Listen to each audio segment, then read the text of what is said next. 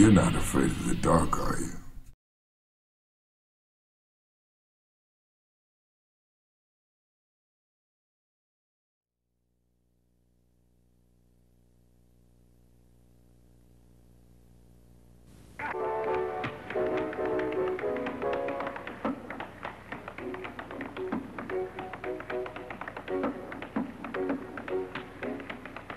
Master Juba, aka William Henry Lane, was the first African American to perform in front of an all white audience during the 1840s.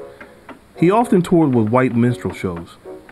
It was a combination of the Irish jig and the African steps created by the African slaves, such as the walk around.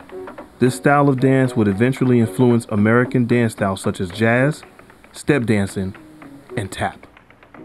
John William Sublett aka John W. Bubbles, was a vaudeville performer who performed in the duo group Buck and Bubbles.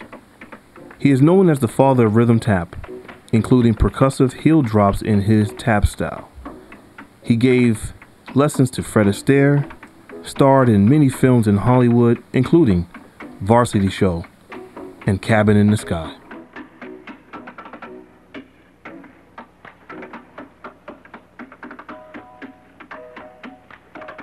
Bill Bojangles Robinson, known for his emphasized clean phases into taps, started in the first half of the 20th century during minstrel shows, vaudeville, Broadway, recording, Hollywood, radio, and television. He brought it up on his toes, upright and swinging. His signature routine was the stair dance, in which he would tap up and down a set of stairs and a complex sequence of steps he mentored the Nicholas brothers, Fred Astaire, and Sammy Davis Jr. Nicholas Brothers, a team of dancing brothers, was a duo who performed acrobatic technique known as flash dancing.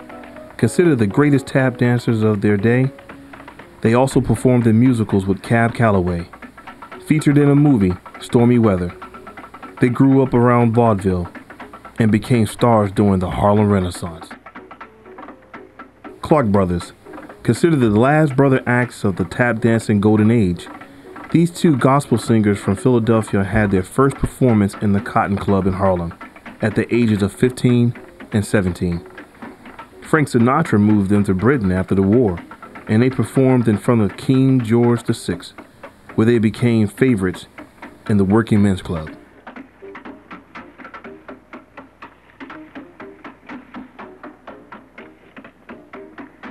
Berry Brothers was exotic and known for their soft shoe dance as a trio, they remained in the business for over 30 years. They too began performing vaudeville, Cotton Club, and in London.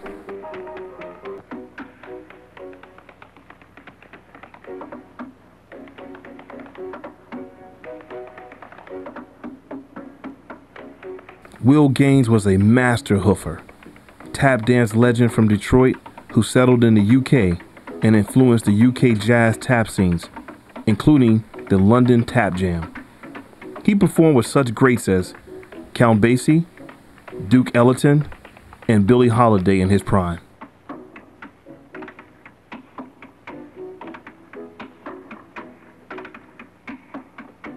Sammy Davis Jr., known for his impressions, singing, and comedy. Mr. Davis was especially known for his dancing. As an overnight sensation, he began his career in 1933 as a child doing vaudeville. And in 1960, he joined the legendary group, the Rat Pack.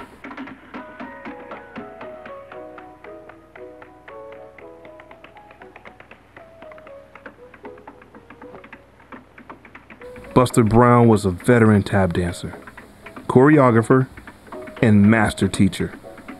Known to be a smooth dancer, he was a solo artist who toured with Cab Calloway, Count Basie, and the legendary Dizzy Gillespie.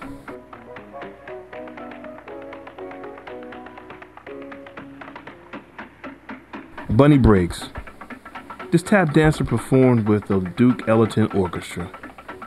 Nominated for the Tony Award for his Broadway work, He also appeared in the 1989 movie Tap.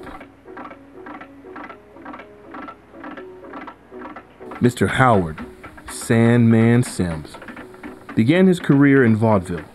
His style of dancing was performing in a wooden box made of his own construction. He acquired a nickname from sand being sprinkled on the box to alter and amplify the sound. James Titus Godbolt. His professional name? Jimmy Slyde. Mixed his style of dance with jazz, and some of his action tricks were similar to the Nicholas brothers. They both used slides as their trademarks. He influenced Savion Glover.